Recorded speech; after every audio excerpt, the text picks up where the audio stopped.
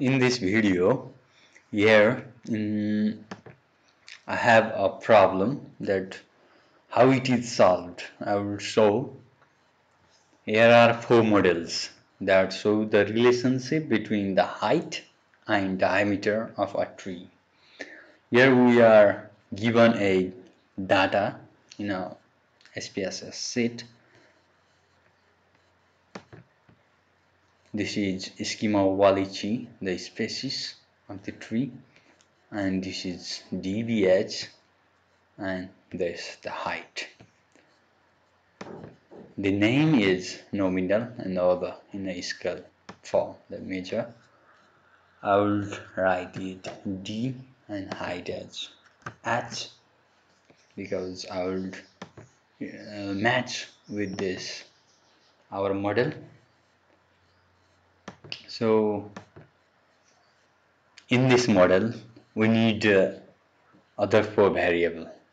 We already have h and d. Then ln h ln d d square and d cube should be find out.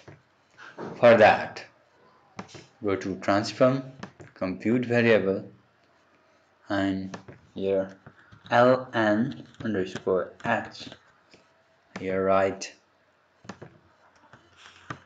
natural log of h this is numeric type functional group arithmetic ln insert and this of question mark double edge.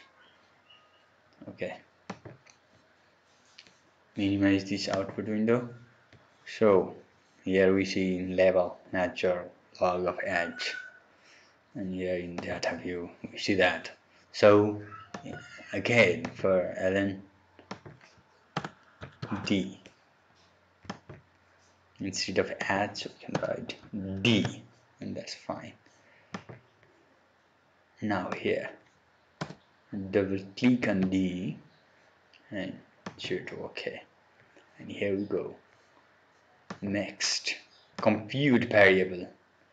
Now we need d square. So d2 I represented it by d2 in place of this square of d.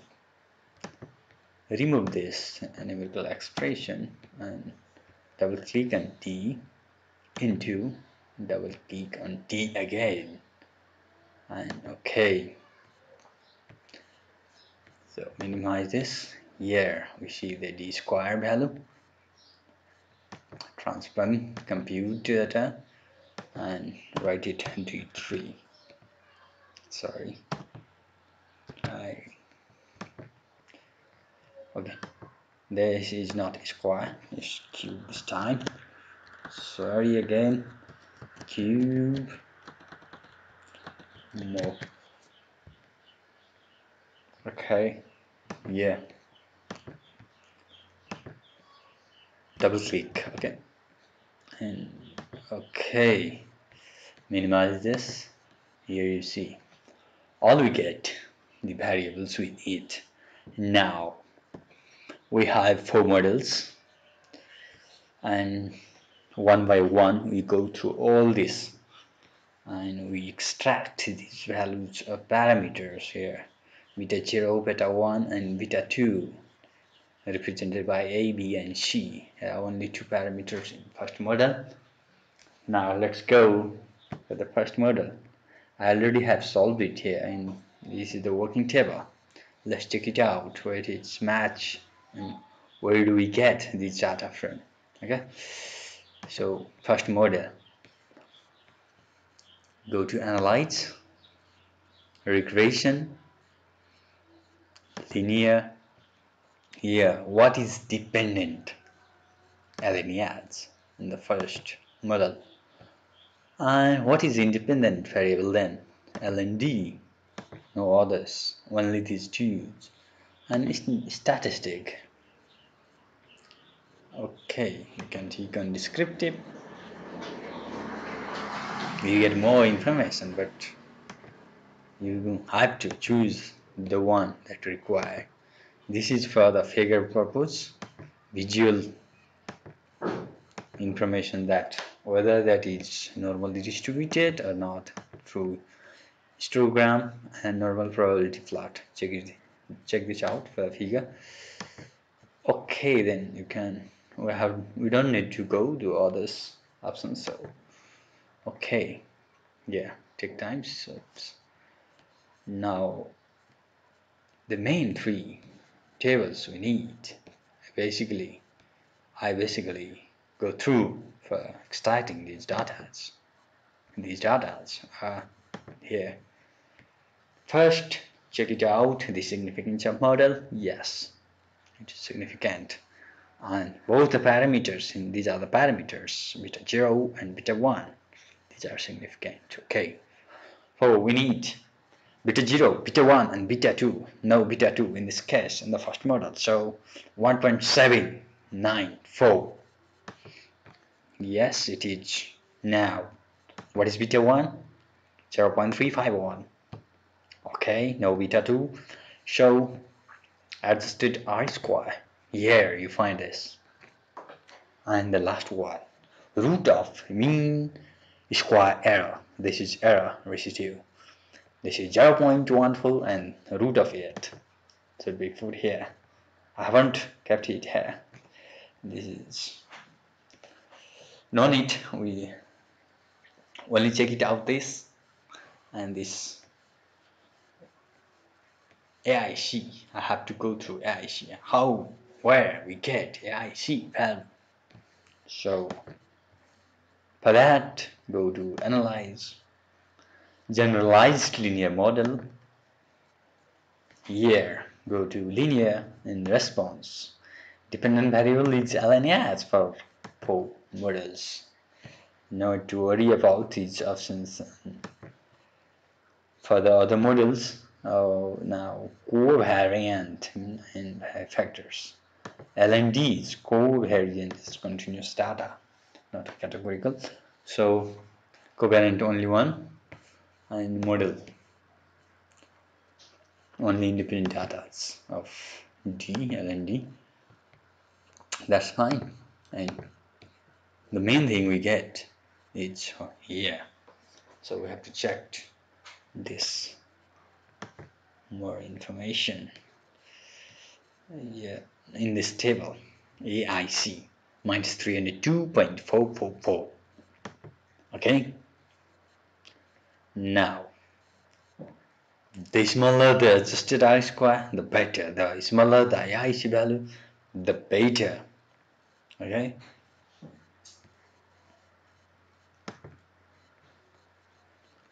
Now for the next regression linear for the next model we need other d as independent variable all the condition remains same.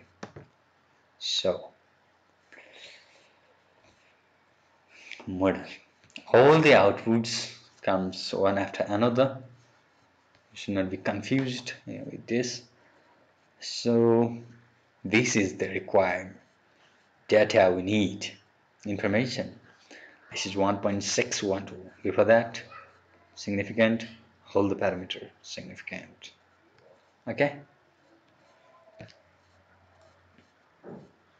what is that? 1 point sorry 1.612 0 0.443 minus. These are here. I have already put it. So you do that. Here they are adjusted. R square adjusted value of r square. This is get that. Here it is. And that root of mean square here now AIC value. Okay. Short. To check it out. Okay. Analyze. Generalized. Yeah. In this let's see. Similar. Here we have to add D. And in model. Model as well we have to add D now all the condition remains same. Okay. Where is AIC AIC value minus 308.708 308 and 708 yeah. I have left. The discussing about this figure so distribution you can see this how smooth it is. Uh, little little yeah. Almost oh better. This one out. Something. Yeah not uniform. Okay. That's maybe best one or the other. Comparing all the other parameters other models right? Yeah around the main line mean this is around it.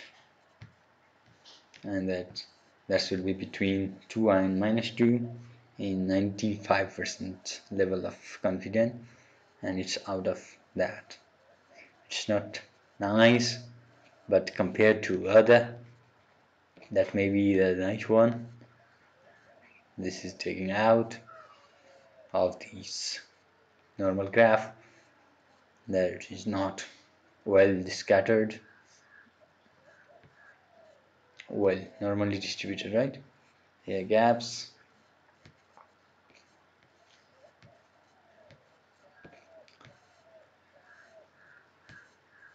Not in a proper line uh, alignment. This is also out of range between 2 and minus 2 okay this is how we have to check it. That won't give actually uh, significant meaning. And you can't distinguish uh, little differences but the IC value and adjusted R square so we have calculated two of the model. Now comparing these two yeah first variable has little adjusted R square than model 2 so this seems better comparing two. Let's see. In model 3 uh, for that you, you can minimize this or remaining on the same. You can go to regression linear and this time. Take this out instead of that take this in. They remain the same. Okay. Now these are the table. I have already said that. This is significance this is significance where you get that data. I have already mentioned these three are the parameters. Beta 0 1 and 2 I have copied these and pressed there and this is adjusted R square. Okay. And this is the root root of uh, this 0.14 I have already mentioned here. You can check twice. Getting back on this video. Okay. Now AIC value. The same process